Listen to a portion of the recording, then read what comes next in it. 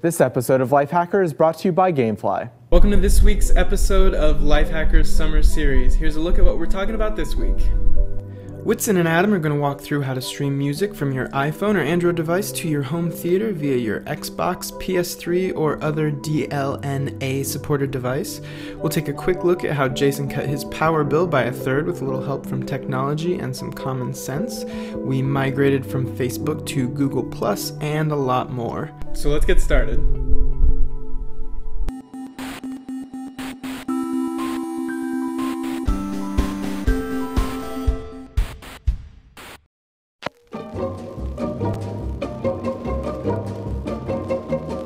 Nowadays, most of us keep our music on our phones and iPods, but we don't necessarily have a way to play that through big speakers.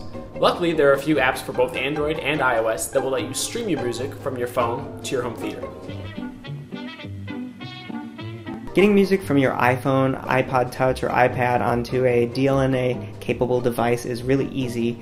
You just need to download a handy little app called AirMusic, and then you turn it on, and then go to your Xbox 360, PS3, uh, Windows Media Player on your computer, or even some TVs, and you can go and find a device called Air Music dash the name of your iDevice. As you can see, I have mine up here on my Xbox 360. So you just select it, and then you go through your playlist, songs, albums, whatever, select a song that you want to play, hit play, and then it will start playing. It may take a few seconds to get started, but you should be up and streaming in no time. And then you can take a look on your phone, and you'll see it says that you've got your device connected. That's all there is to it. To set up Twonky Media Server, all you need to do is download it from the market, start it up, and it will search your phone automatically for music, videos, and photos to stream. It'll show you your entire library, but you don't actually need to access it from the phone. Just start up your Xbox or other DLNA compatible device, find the Twonky Media Server, and start playing your music directly from there. That's all you need to do.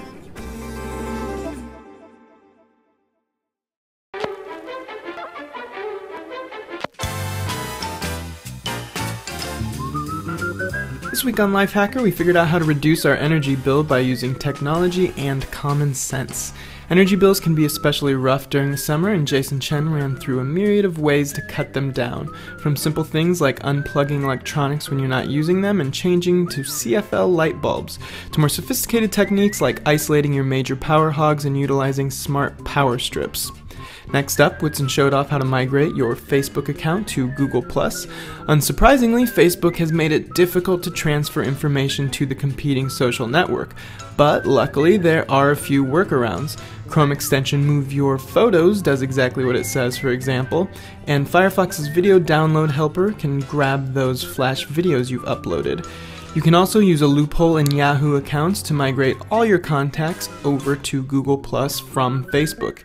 Getting them to actually use Google Plus is another challenge entirely. Finally, we ran down the five best music streaming services. We've been talking a lot about Spotify lately, but Grooveshark actually won out on our user poll.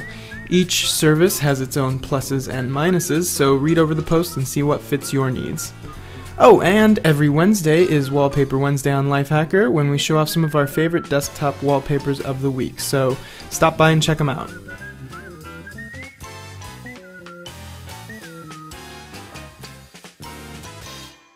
What is life like as a stomach? Alright, it's time for the downloads of the day. Let's see what we've got.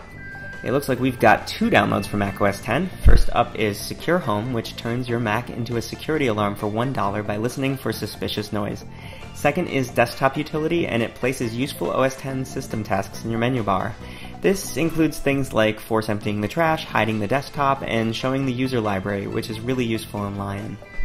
For Windows, we've got SSD Boost Manager, which makes it easier to deal with the space constraints on your SSD by seamlessly moving files and applications between drives.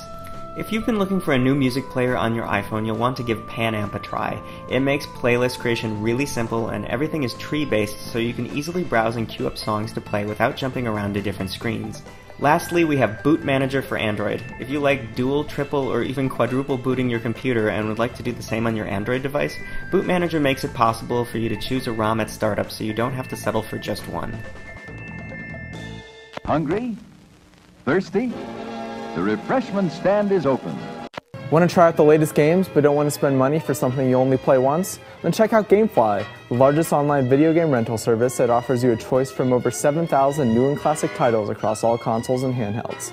Plans start at $15.95 per month, and Gamefly members can rent one to four games at a time and keep them for as long as they like. There are no late fees, no due dates, and shipping is always free. Plus, if you really like the game, you can simply click Keep It and the game is yours at a discounted price. Best of all, Lifehacker fans can get a 15-day free trial when they go to www.gamefly.com/hacker and sign up right now.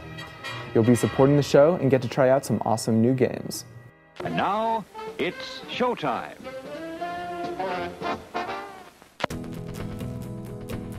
This week on YouTube, Adam Dachis ran through how to make any iPhone app AirPlay compatible.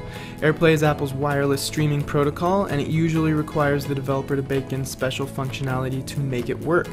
Thankfully, you can get around that by playing your media and then locking your phone, tapping the home button, tapping it twice to bring up your iPod controls, and you should now see the AirPlay button on your screen. It only works with audio though. I'm gonna turn this off before my neighbors call the police. Next up, Whitson played around with the latest Cyanogen mod for Android and showed off how to eliminate notifications one by one instead of clearing them all at once. Check to see if Cyanogen is available for your phone, and if you need help rooting your device, well, we have an always up to date guide for just that. Finally, Dachis hopped back into Lion's Den and showed off new resizing features in Apple's latest operating system. Instead of having to drag the bottom right of your window, you can now mouse around any edge and drag handles should appear. And that's about it. You can use them to resize your windows like you normally would. That's it for this week. We will see you next time.